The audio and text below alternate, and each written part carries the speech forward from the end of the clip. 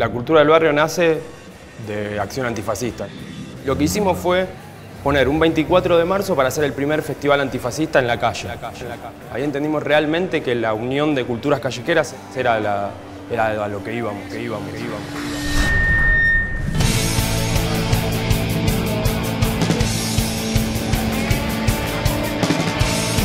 La idea de, de la cultura del barrio es construir. Velasco era. se inundaba. Todo chapa, cartón, madera, una, dos autos abandonados. Empezamos de cero, el lugar venido a menos, había que tirar paredes, había que armar un escenario, ponerse a trabajar.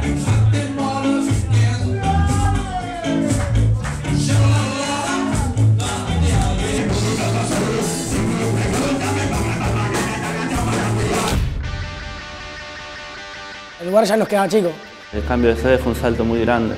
Nosotros desde que arrancamos quisimos hacer algo nuevo. Primero, no hay un club skin en Argentina.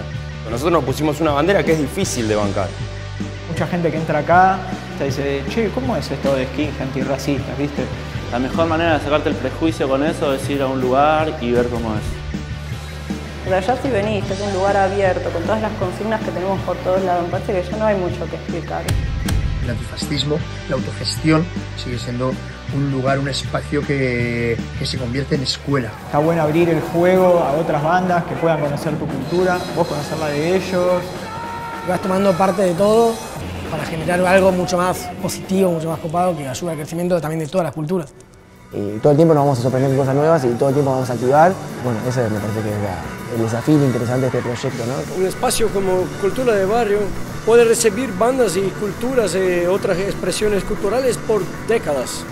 Es una parte súper grande de mi vida, la cultura. Esto es lo que hacemos. Entre todos levantamos este lugar.